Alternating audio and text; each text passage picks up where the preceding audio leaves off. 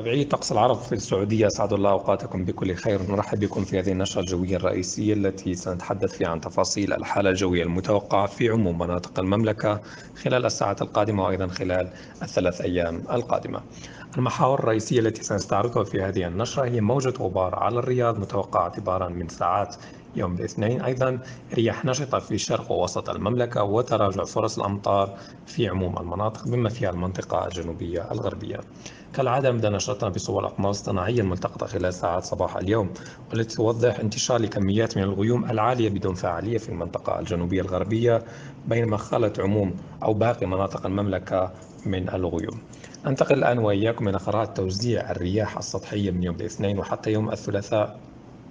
حيث توضح نشاط في سرعة الرياح الشمالية في المنطقة الشرقية والمنطقة الوسطى ومنطقة حفر الباطن.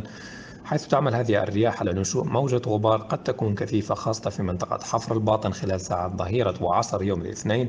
تتحرك تدريجيا هذه الموجة جنوبا باتجاه الرياض خلال ساعات المساء والليل. تعمل هذه الموجة على التدني في مدى الرؤية الأفقية وبالتالي ينصح أو ننصح الإخوة المستخدمي الطرقات الصحراوية والخارجية بتوخي الحيطة والحذر في مثل هذه الظروف الجوية. في موضوع آخر ننتقل وإياكم إلى خرائط توزيع الكتل الهوائية.